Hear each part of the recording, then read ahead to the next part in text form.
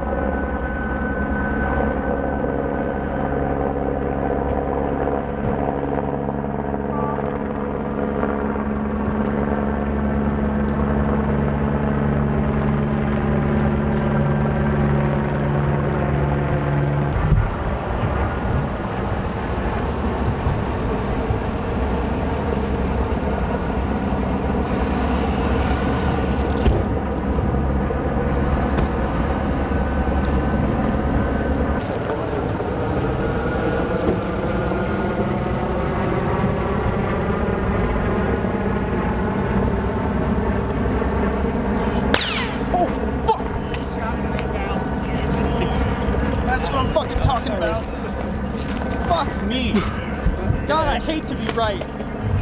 He wants you. She wants you to turn off the light. What? Wait, hold on. Oh, right, I got it.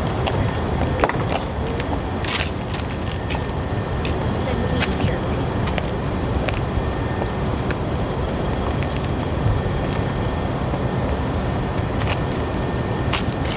Okay, is everybody ready? All right, I'm Sergeant Ann Justus with the Phoenix Police Department. Morning we had a critical incident that occurred in the area of 51st Avenue in Lower Buckeye. I have Chief Jeri Williams that's going to give a statement to the community. So good morning. As I stand here, five Phoenix police officers are in the hospital after being shot in the line of duty, and a woman has been critically injured. The scene is in West Phoenix, as was mentioned. It's still active, but we wanted to update you on what we know so far.